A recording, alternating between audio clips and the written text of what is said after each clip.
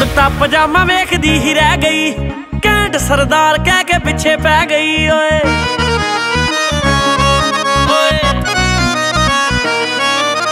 ਕੁੜਤਾ ਪਜਾਮਾ ਵੇਖਦੀ ਹੀ ਰਹਿ ਗਈ।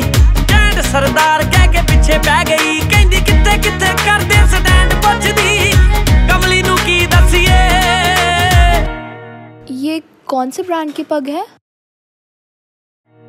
ਕੁੜੀ ਸਾਡੀ ਪੱਗ ਦਾ ਬ੍ਰਾਂਡ ਪੁੱਛ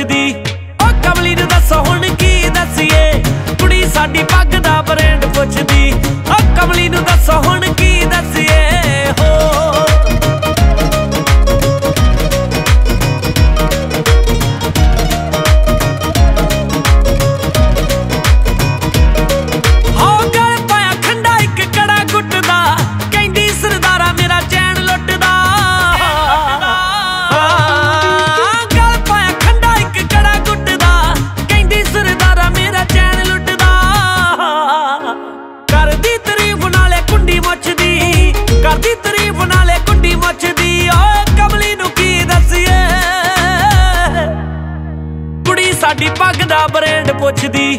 ਓ ਕਮਲੀ ਨੂੰ ਦੱਸੋ ਹੁਣ ਕੀ ਦੱਸੀਏ? ਕੁੜੀ ਸਾਡੀ ਪੱਗ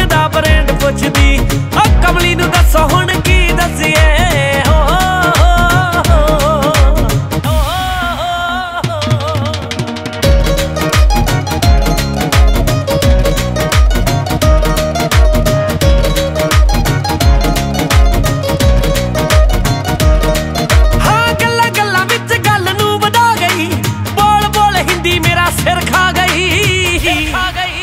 ਹਾਂ, ਗੱਲਾਂ ਗੱਲਾਂ ਵਿੱਚ ਗੱਲ ਨੂੰ ਵਧਾ ਗਈ।